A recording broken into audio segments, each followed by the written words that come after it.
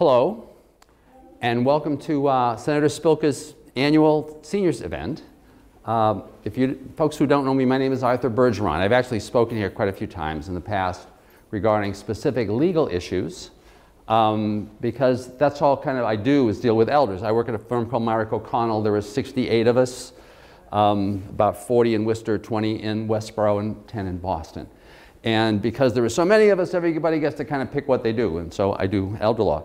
Um, but the reason why I got into elder law was my mother died in a nursing home in 1991. I remember seeing this play out with my dad, and all, it was all bad. I Remember back then when it wasn't even Alzheimer's, it was like hardening of the arteries or something?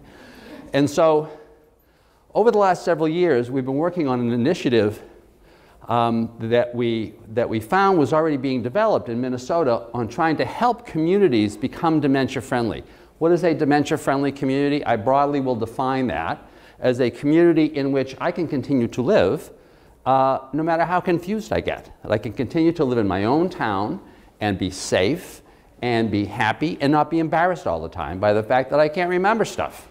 That's broadly a dementia friendly community. So before I start, I just want to ask where are you folks from? Where, what town? Ashland. Oh, you're Ashland. Holliston. Holliston? Ashland. Is, that looks like Ashland. Framingham. Framingham. Ashland. And Ashland. So I know some of the Ashland folks and some of the um, uh, Holliston folks. So this initiative, um, we've gone through quite a few of the steps of it in Marlboro, Hudson, uh, and Northborough, um, where, where, I'm from. I'm going to talk about that a little bit. I know it's just starting now in Ashland, and um, your selectman is it Jim, Jim Steve Mitchell. Steve, I keep doing this. See, you know, you know, I'm slipping myself. Steve Mitchell is leading it and I know that Sam Wong, who is the health director in, um, in Framingham, is really interested in doing this in Framingham. Uh, and I talked to, recently to your, the, you know, the head of your senior center, um, and, and I think there's just to, there's a lot of interest in this already. So the goal of this really is to kind of talk to you about um, how this all works and how you could think about your community being a dementia-friendly community. Now, I invited one guest, Tammy Pozerycki, She's right here. If you don't know her, you should. She's going to talk about three different things that I think are really key elements of a dementia-friendly community, and what makes her unique is that she does them all. So I just want to kind of give you a, a sense, though, of what these possibilities are. So the goal of this, for those of you who've seen my presentations, this is my friends Frank and Mary. I always talk about Frank and Mary and their kids, Peter, Paul, and Mary Jr. I always tell my, I always tell my presentations, if you're old enough to get that joke, you're old enough to be my client but I, and, I, and I tell them, I said, you know, their goal is very simple. They want to, and they're their kids, Peter, Paul, and Mary Jr., and, and they want to live in their house until they die. They want to be buried in the backyard. It's very simple, right? So the question is, if Mary starts having some memory problems, um, so what do they do? What do they do? Of course, they're going to be able probably to continue in their house, and there are a lot of things they can do in their house. They can make adaptations to their house to make it safe. You know, they can bring people to come into the house. But the question, and, and people do that, right? But the question is, how do they not just become trapped in their house all the time? Because they're afraid to go out. They don't want to go out because you don't want to walk around the neighborhood. Well, first of all, Mary might get lost. But even be really beyond that, it's that day to day, you don't want to be embarrassed. Mary doesn't want to be bumping into somebody who says hello. Oh, you, and inevitably they'll say, "You remember me, don't you?" You know, because they know they have dementia. Well, no, you know. So, so it, it just hard. That whole world is just really hard to do. So the question is, kind of like how to figure this out, how to cause this to be a dementia-friendly community. So, what the way that we started figuring this out is I worked with Christine Alessandro. Christine is the head of, of Bay Path Elder Services, which covers all of, the, all of your towns. BayPath is the, is the regional entity that is basically the funnel through which federal and state dollars come for the benefit of seniors. The state's divided into 27 regions. Your region is, is done by BayPath Elder Service. And she's terrific. I, I've met a lot of the directors of ASAPs around the state. She's one of the most innovative people I've met in terms of really trying to develop programs. And, and so she very well may be helping you. In, as a matter of fact, I think that BayPath is actually paying the staff person that's helping you in Ashland right now. And that helped, and, and a staff person actually, this Cindy here, Cindy Cormier, who's working my table outside, was actually the staff person in the communities where we worked. So she's really terrific. So what we did, what we found was that there was a program in Minnesota that had these features to it, and it was called Act on Alzheimer's, where they had, where they had over the previous several years um, done grants to individual communities to try to develop uh, or, or, or to, to try to develop plans for how they could become dementia friendly. And so what we did was we went to Minnesota, um, my, my law firm, and some, there was some grant money, and we paid to bring everybody out. And that's, so there's Christine there, and Trish Pope, who is the uh, head of the senior, the senior center in Marlboro, and Janice Long from Hudson, and, uh, and um, Kelly Burke from Northborough.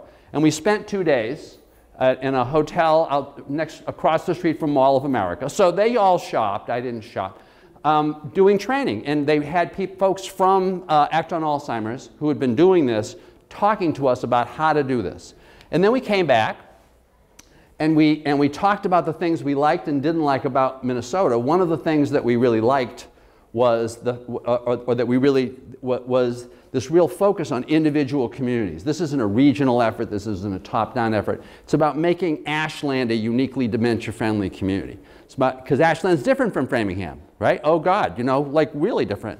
And Holliston, oh, another universe, right? So the, you know, the, the question is, how do, you, how, how do you make these places unique? But the system, and the system that we, that we saw them use, we really liked, which was to get folks together, develop your local group of people who, typically people who are either um, interested because they're service providers, people from the police department, the fire department, several of the police chiefs were directly involved in this, for example, because they deal with it all the time, as well as folks who are in the community who have maybe have, have dealt with this because they're caregivers dealing with folks with dementia. So you start off with local volunteers, you get them together, you, start, you do a public meeting to tell people in the community what you're doing. Um, then you look at your community and you divide it up by sectors. Sectors meaning sectors of folks that a person who is an older person in general, but specifically a person who has dementia might need to be dealing with. Police, fire, town hall, the parks department, the restaurants, the banks. The, I mean, there are a set of places where the supermarket. So where do you go when you're older where you still want to go, but you're trapped in your house because you're afraid to go because, you know, people are going to make fun of you because you have dementia. So we did the, and then you try to develop a plan. And so that's what we did. And so all three communities, we developed the, we developed these teams of volunteers. That's me, right? that's our Marlboro team. Uh, in each of the towns, folks, you know, and we basically used the Minnesota um, materials, which are all there. And by the way, you have the handouts which give you the, the, the website for Act on Alzheimer's, for the Minnesota model, if you want to kind of see the stuff that they have there.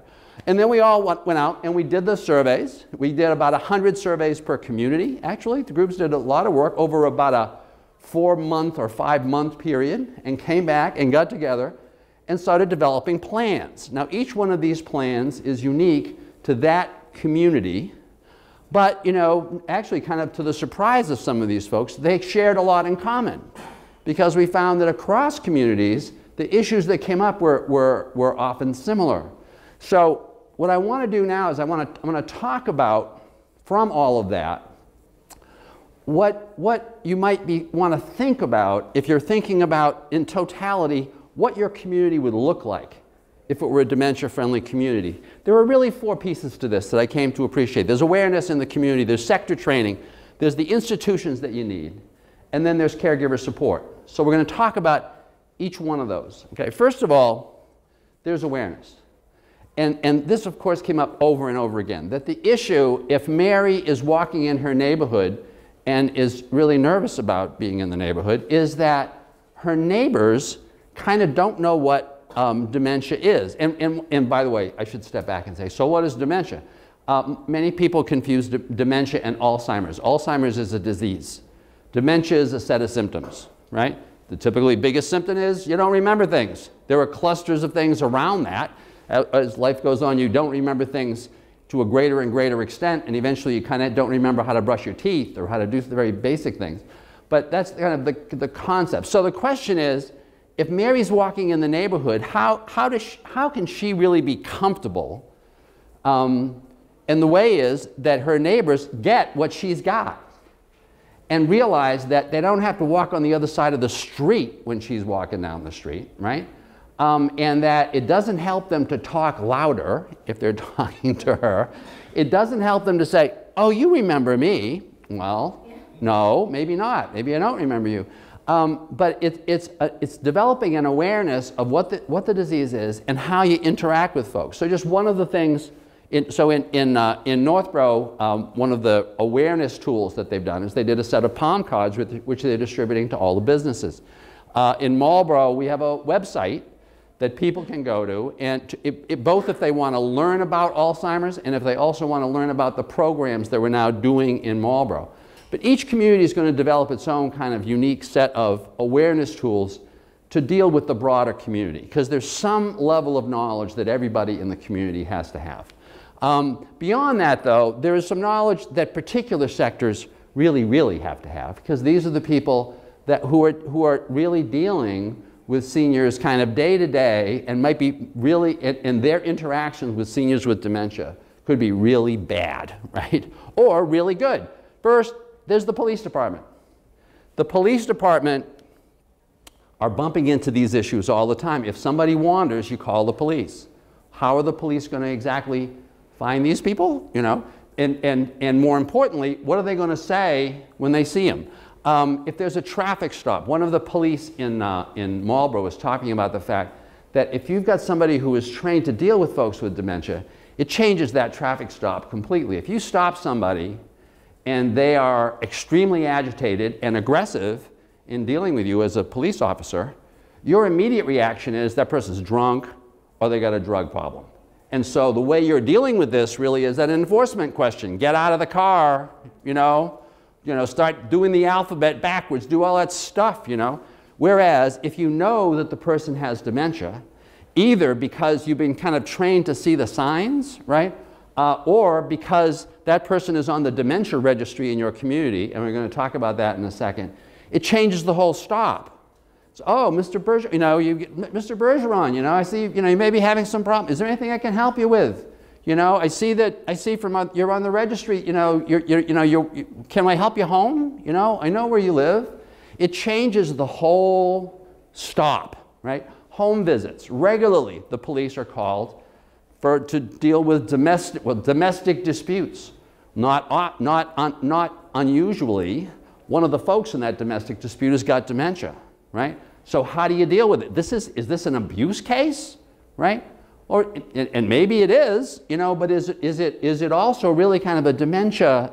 Is that really what it's about? So those folks really need to be trained. So all three of the police chiefs uh, in the three communities were very involved in this. Each one of them developed their own version of a, a, uh, a registry, which each one of them is now doing, each one of the three communities, where if you, your loved one has dementia, or if you do, but typically it's your loved one who's kind of taking care of this, um, you can, the, the, the, the, local, the, the outreach police officer will come to your home and actually interview you and talk to you and just get, you know, get a sense of what's going on. And if the person with dementia is comfortable with that, take their picture, right? get some basic information about them, get the contact information, who do I call, you know, so that if, you know, if Mary is in the parking lot at the Walmart, kind of looking around and can't find her car, and, and, and either the Walmart folks come up and now they call the police and the police show up. Now all of a sudden, not only do the police know what to do, but they also know who Mary is because they've got her picture on their phone because she's part of the dementia registry, right? So now at this point, um, you know, results vary. In Marlborough, there are 24 people who are on the registry. In Northborough, only two. In Hudson, 32. Hudson has probably been, oh, they, all three communities have been very, very active. The, but the, the, the, senior center director in Hudson, Janice Long, unbelievable, just unbelievable in terms of doing this kind of outreach. And I'm going to refer to her a couple times a little bit, a little bit later on. So this, this is really kind of taken off there. What about the fire department? These folks when they show up at the house, when the first responder, right, shows up at the house, you can't be saying what happened. You know, the woman's on the floor, she's got a, you know, a head injury. She doesn't know what happened. She's got dementia, you know. And what do they deal with? There, there was a kind of a standing joke in the fire departments. Oh, that's one of the frequent flyers. We're going back to that house again. It's, you know, but beyond that, what do they do? What is, what is the connection of the fire department with the public health department and with the police department? How can we be helping folks who are there as opposed to waiting for them to get hurt, right? So um, in both of these areas, the key to this has been training. So in both, in, in, in, in Hudson, they started in Hudson, and now in Northborough and in Marlborough, they hired her. They hired Tammy Pozerycki to do that training. So I want her to talk to you a little bit about the nature of that training and the, and the interactions with the police department and the fire department. Tammy. Good morning. So I am, um, I've been in healthcare for about 22 years as a social worker and, and now, you know, after going through the journey with Alzheimer's with my grandmother, it really drove my passion to work with folks and caregivers with dementia.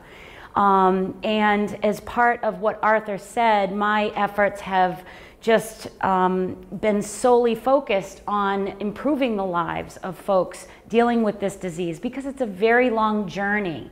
Um, so I am a certified first responder dementia trainer and also train staff at healthcare facilities and communities. And we started in Hudson and we've got all the Hudson police, fire, and EMTs trained. We're working on Marlborough and Northborough. And by the way, that and, happened over what period of time? That you um, did all the training of, the, of all the first responders? Of, of Hudson, it happened within one month. We right. did it within one month. We got them because, all, and it was the over poli- five The chiefs trainings. were really involved, so they really wanted to get their people trained. Yeah. So the, the, the essence of the training is to teach them communication strategies and inter- interventions.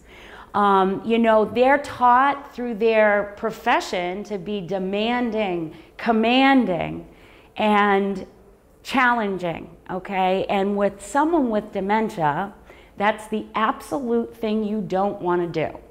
So it's teaching them a different perspective of how to handle someone with dementia. And we're not just looking for the older adult in the community. This disease is affecting people in their 40s, 50s, 60s. So, how does a police officer go to a home where an individual with dementia is hallucinating? Or having uh, delusions. How do they handle that differently? Well, they're taught originally in their officer training to talk that person out of it, okay? And to handle it if they need to by force. So, teaching them a way in which to join that person in their reality and go with it. Enter that delusion or that hallucination and how to become their trusted ally. And one of the things that um, we'll talk about later, what I do, what I've created as a, an adult day program, when I've needed to call 911 and get a response for someone having a medical event, the history was horrifying of the response because you call 911, you get police, fire, EMT, all in the house, lights flashing outside, lights, sirens, and six people going towards that person who's having the medical event. Completely awful for the person with dementia. If one person knows how to communicate with that individual and address the individual, you prevent that person from increasing in all the symptoms that we see from dementia. So, and it's changing. I see it. I see the police, fire, and EMT, they're completely changing the way they approach folks with dementia. So it's super exciting. And you mentioned that several of those folks, of course, had relatives with dementia. Oh, that's the other thing right. is during these classes, um, and I'm going to ask you folks the same question I asked them. How many of you have been personally affected by a dementia disease? You know someone, you love someone with a disease. Anyone here? Right? Inevitably, whatever audience I am training, at least half or more have been touched by this. So it is an epidemic. And what our efforts are is to address this epidemic so that we can create folks to want to come out of their home. Thank you very much, Tammy. Now, Tammy is, is they're going in, in Hudson, they're going beyond just the first responders, and now they're going to be doing they're going to be doing or are doing training with folks from the restaurants, for example, um, folks from supermarkets, folks from banks. Um, And in, and, and in addition to that, um, Tammy is now going to be training the folks in Hudson and Marlboro, or is doing that now, right? Yeah, or not in, in Marlboro and in Northborough, in, North, in Marlboro. But, the, the, but so I make a couple of observations. So, so Tammy started doing this because of her grandmother. Everybody starts doing this because they know somebody and they get it. Suddenly they get it. Um, her, er, so I'm going to talk about kind of other background stuff, but the, the point is there are trainers. The reason why she is competent to do this training, she's gotten some you know, specialized training. But more importantly, this is what she does every day because she has she, her, she runs a business in which there are folks that are there who have dementia every day. Similarly, in Framingham, you know, you've got a couple of assisted living communities that have dementia communities within them. So there are already the players in the local community that can do this kind of training. The only question is how do you how do you institutionalize that? How do you cause that knowledge that is there to be used in your own community?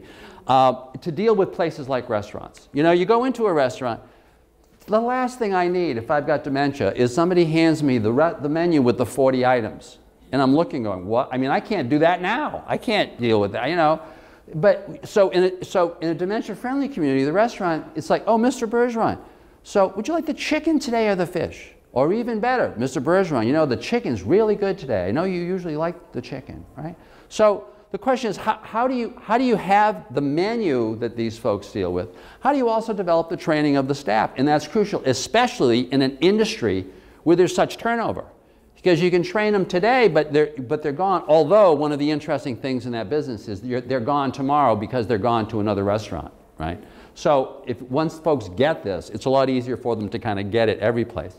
Um, th- there is, that, I'm just going to mention the, the, uh, the Red Raven, because the Red Raven, the woman who, who runs the Red Raven, once again, her mother had early stage Alzheimer's, who died fairly recently. So she's really taken this issue on. And what is her name? Jennifer Epizitis. Jennifer Appizitis. And one of the things that she has done is really kind of gone beyond just training the staff to actually having a device through which if you want to go to that restaurant and if you want to go to some others on this that website, the Purple Tables website, you can get a Purple Table reservation. I want to come to your restaurant, you know, my wife has dementia. Oh, great. So what we're going to do is, you know, I, first we're going to not recommend that you come at the most busy time because the last thing that your wife with dementia needs is a lot of noise, right? Second, we're going to make sure that your table isn't like in the middle of the restaurant, but is a little more out of the way so that you're just so that you're not feeling intimidated by all this stuff and so distracted, right? Third, your wait staff is going to be specifically trained right? Now, interestingly, one of the things that she has found, I think, Tammy, that you, you, you told me, is that, is that they're also attracting folks with kids who have got autism, people who have other issues, so that you've got to, because it's this, oh, they're the same issues.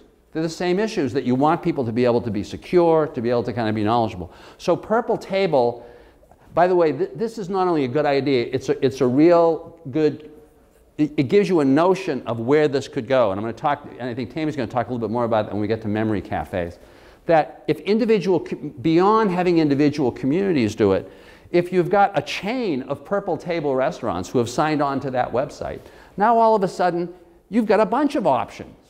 You know, it isn't just the one, but, but, but once people in the individual communities appreciate hey, guess what? You know, you're having those problems in the neighboring community. There gets to be a lot more of this kind of inter-community cooperation. Um, finally, there are memory cafes. What is a memory cafe? Well, Tammy's going to explain that because one of the interesting things about memory cafes, when Tammy actually created the first one in Massachusetts, there are now Almost seven. 70, 70 of them. Um, but to be described, so see, and, uh, so and this isn't like an entire, oh, I'm just introducing Tammy again, but she's like, she really does stuff. I just kind of advertise. So, Tammy, ex- explain what that, wor- what that is. So the Memory Cafe was actually started in Europe because what, what Dr. Miesen found was that people were isolating with this disease. So a Memory Cafe came to uh, United States in 2008, and I created the first one in Massachusetts in 2011. First one What here was in New, Me- in New Mexico. in New? Mexico and in United States. But a memory cafe is simply an accepting and supportive environment for the caregiver and their loved one with dementia to attend. It's free. They're, they have them at senior centers, libraries, restaurants like the Red Raven. I hold mine at Pleasantries, um, various locations. And it's just a, a, a place where folks can go to get out get out and engage with other people. So we have refreshments and we have entertainment and there's alternative therapies like music and pets. And the idea is that we've actually got a big network of folks who are running cafes now so that they're on different days and times in different locations throughout the state. And people, I have a whole group of folks, we call them the cafe hoppers, because they go, that's their outlet when they don't want to go to the restaurant, when they don't want to get out with their loved one for fear of embarrassment. So the memory cafes have taken off and they've gotten people to come out and enjoy their quality of life. So once again, there are already a whole bunch of them. I know on Tammy's website, she actually posts all of the ones that are in, in our immediate area around kind of what, I, what I'll call the boroughs plus, the four boroughs, Hudson, Hopkinton, that, that area. But there's also, is there's, does the state website have all of them? The there, Jewish Family and Children's Services has a directory that has all the whole, all of Massachusetts. But they don't, they don't get to do the dates and stuff, so you can't, do they have They the just say second Monday of this month, right, and right. you just have to confirm it. But once again, kind of like with the Purple Table restaurants, you can see how this evolves, you know, because you, once you have enough, then you start having these websites where, so that you can literally say to Mary, Frank can say, so where do you want to go today? You know, you want to go to Northborough? You want to go to Ashland? You want to go to? You know, there are a number of these places. Um, there's a brand new one that is just that just started in Northborough. Uh, we're having our first um, uh, memory cafe at a restaurant in Marlborough called Welly's. Once again, family had, had you know experience with people with dementia. Another well-known Marlborough restaurant called Kennedy's, same thing. Families with very they're very very interested in this. So increasingly there should be options for folks. And when you're thinking about, you know, how your community ends up looking dementia friendly, I remember this great place downtown in Holliston. It's like a diner where I, where I had, where was it? In the center? Right in the center, because I, I remember I had sandwiches there with Mary Greendale one, one day, who's, you know, kind of your, one of your many local activists, right? But every place has one of these, has kind of a natural place for one of these places. The bank, these folks really need to be trained, right? In a couple of different ways. First of all, if I'm at the bank, banking's confusing, you know, fill out the slip, do the thing, get your check, you know. So I really need somebody that can kind of help me out with that. Or if I'm one of those folks, a frequent flyer. I've had clients that have literally gone to the bank every day, every day, to take out $20, take out $10, check on their account. Early, they, get early, they get early stage problems. So to have staff who are okay with that and comfortable with that, but at least as important, staff who somebody shows up with, you know, the, the, the, this kid you've never seen before, and all of a sudden they're going, that kid's going on all of the accounts as like the joint owner. Now that may be just great. This may be, you know, the trusted son. It could also be the very untrusted, scamming nephew or neighbor or somebody. So there needs to be I think once, one of the things that we found from talking to banks is that banks start talking to each other about what are the protocols that should happen in that situation? Is there somebody that you need to call to just have somebody check up on that? Because once the money is gone, it's gone. You're never getting it back. I had a, I had a person actually in, in a, a client in Northborough. Ended up being terrible because the, the, the, the, the mother, um, no, the aunt uh, he'd been living in the house with the aunt, and the aunt needed to qualify for Mass Health. She was in the nursing home, but couldn't because she had this joint account with the nephew, and $80,000 disappeared. And Mass Health's position was, oh, they presumed that was a gift, right? Oh, you have to give them, they have to give the money back, otherwise you can't qualify for Mass Health. Well, he stole the money. You know, he's gone. You know, so it, at the bank is where you can kind of try to deal with some of those issues, you know, be, kind of preemptively. The grocery store. Every senior, everybody, no, not everybody, I don't go, fortunately, my wife does, but every senior pretty much, that's one of the things you do. You go to the grocery store. And to not be able to do that, to be trapped in your house because you can't go to the grocery store, how bad is that, right? But that means that you need a grocery store where the staff, where first of all, they, they are going to help you out if you can't find your car in the parking lot. That's one of the most confusing parts. I never can find my car in that parking lot. I shouldn't say that, right? So, so it, but then in, in, the, in the, when you're in the store, you know, I, I, there are some, some stores now that actually will, you know, that they'll actually have a symbol, like a dementia-friendly symbol, that there'll be one line that, so if, you if you're having problems, right, you use that, you can use that line. But beyond that, you need the store, the players there to not be saying, oh, that's in aisle 14, right? They need to get you to aisle 14. They need to help you out. So, so and, and if that's what the store is, you know, suddenly you feel more kind of comfortable about that. Obviously, you know, there are other, some other options like home delivery, right? For folks who are really, really upset about going to the store, each community, each set of stores in each community is going to respond to these issues kind of differently.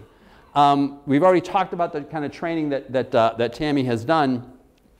I'm just going to mention to you one of the things that came out of the initiative, though, in our three communities, and it might be great if it happens in this building, is at Assabet, which is our regional technical school, um, they decided that they were, this was so important to them that they were going to become a dementia-friendly technical school. And so over the last spring, they actually did trainings of every teacher in every one of the shops who are now training their carpenters, their hairdressers, restaurant employees. Their, their restaurant is thinking, they have a restaurant there. Their restaurant is thinking of, be, of having a, a, uh, a, a, a purple table reservation. All their kids are going to be trained. Imagine how good this is. Imagine how many kids coming out of Keefe Tech, you know, they're not coming, you know, they're, they're going to be staying a lot of those people are going to be staying, right? They're going to be your plumbers and your carpenters and you working at those restaurants.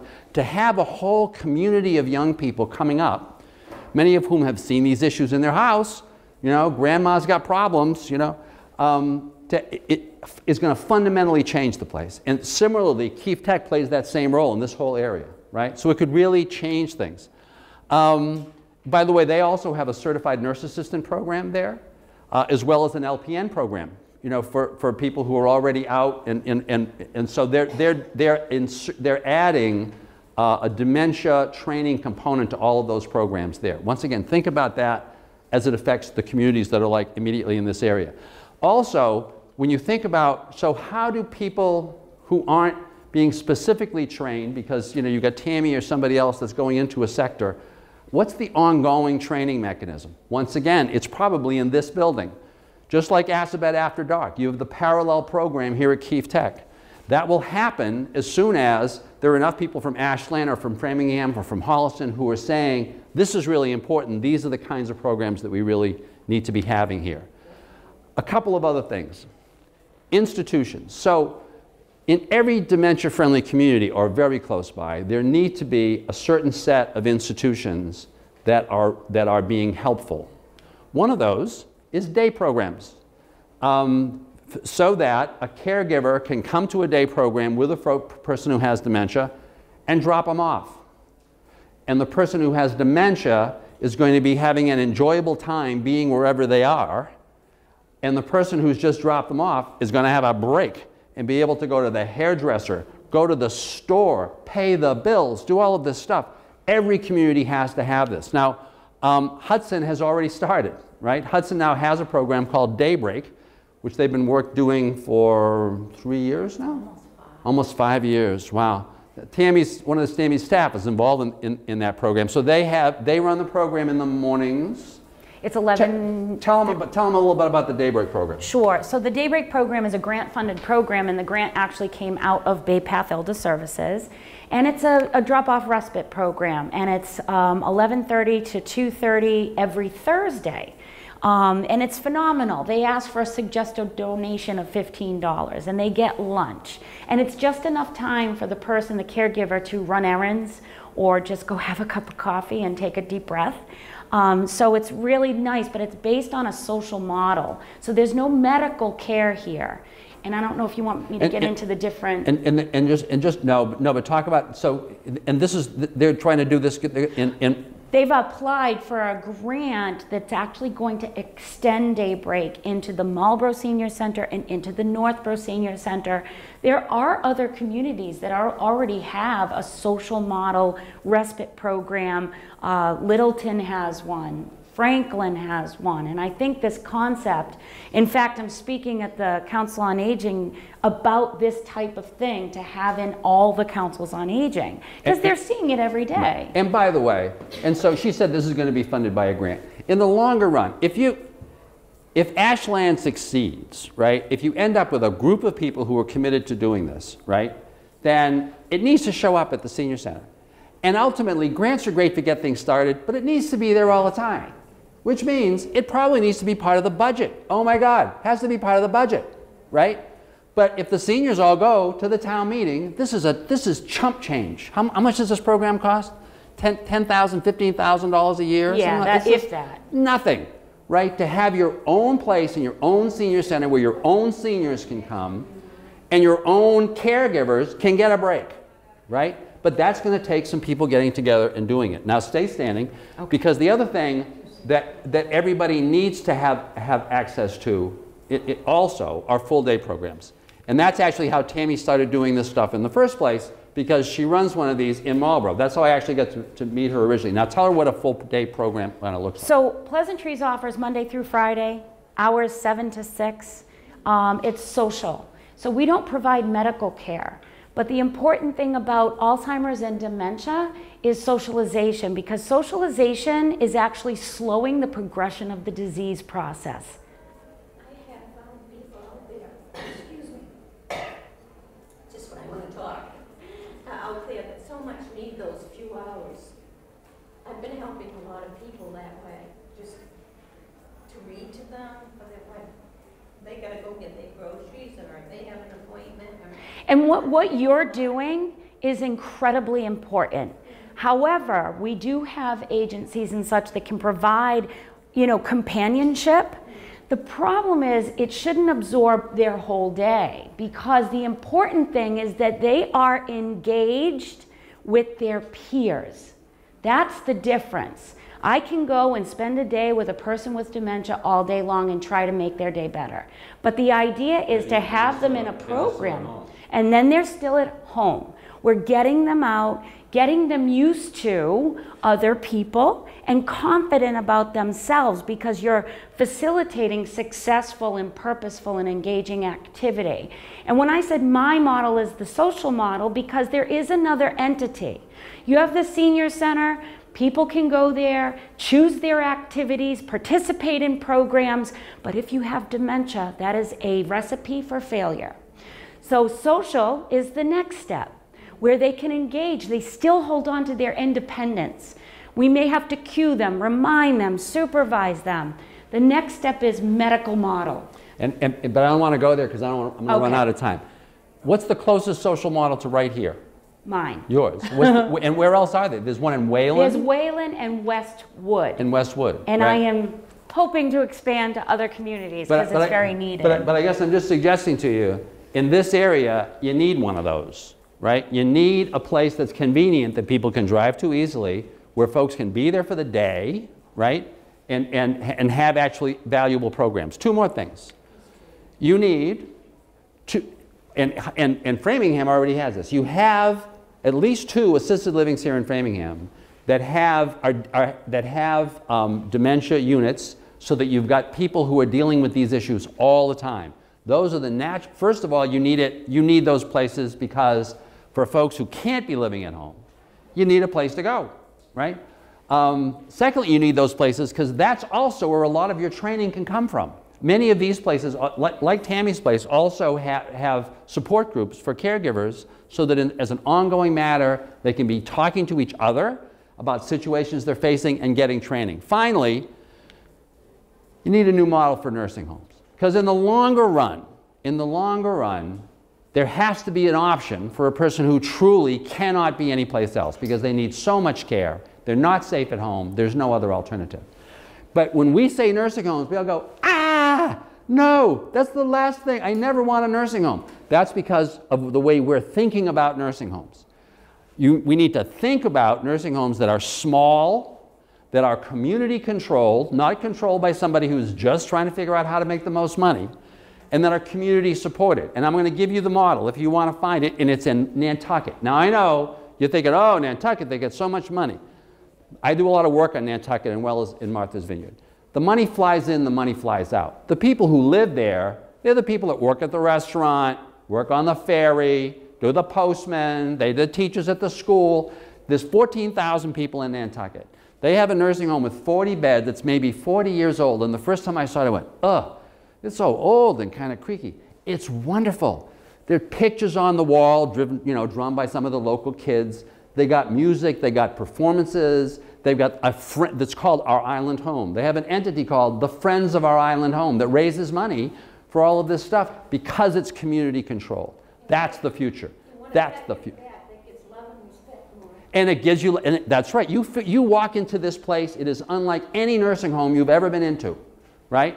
Because it's filled with local people, you know, and this kind of chit chatting, now, Ellie, how are you? Blah, blah, blah, you know. That's where this needs to go. Uh, that's all the time we got. But I'll, take a quick question in case there's any questions, but otherwise you have to come back at 10.30 because we're doing the same presentation. no, you're all good? Thank you very much for coming. Thank you. Thank you.